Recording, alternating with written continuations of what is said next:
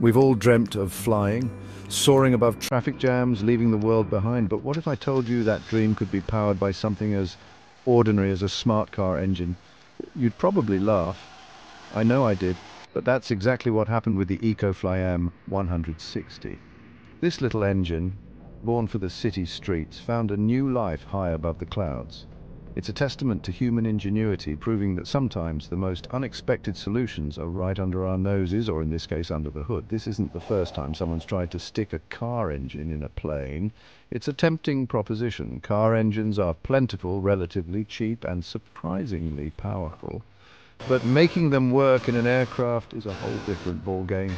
You need power, yes, but also reliability, efficiency, and the ability to operate at high altitudes. It's a tall order, but the EcoFly M160 manages it all. The story of the EcoFly M160 is a story of two unlikely collaborators.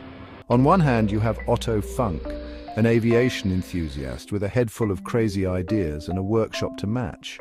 On the other, you have Daimler Chrysler, the automotive giant known for its precision engineering and, well, smart cars.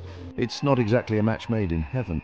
But Funk saw something special in the tiny engine that powered the smart Fortwo. He saw potential. Funk knew that converting a car engine for aircraft use wouldn't be easy. He needed help. That's where Daimler Chrysler came in. Surprised? I was too. But to their credit, they saw the potential in Funk's vision. They provided him with engines, technical support, and even access to their engineers. It was a gamble, sure, but one that paid off handsomely. Turning a smart car engine into an aircraft engine isn't as simple as bolting on some wings and hoping for the best. It required a complete overhaul. Funk and his team at EcoFly had to address a multitude of challenges. First, they needed to reduce weight.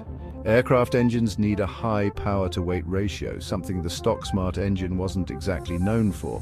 They achieved this by replacing heavy components with lighter alternatives, like using magnesium alloys for the crankcase. Next, they had to improve the engine's breathing. At high altitudes, the air is thinner, which can choke an engine designed for sea-level operation. They solved this by adding a turbocharger and intercooler, forcing more air into the cylinders and boosting power. They also redesigned the lubrication system, ensuring the engine could operate reliably in different orientations. So, what did all this tinkering result in? The EcoFly M160, a marvel of engineering that packs a surprising punch.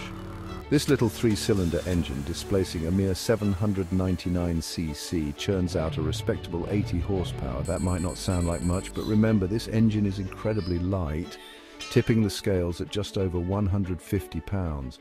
It's this power-to-weight ratio that makes it perfect for ultralight aircraft. The M160 is more than just powerful, it's also efficient. It sips fuel like a hummingbird, boasting an impressive fuel economy for an aircraft engine.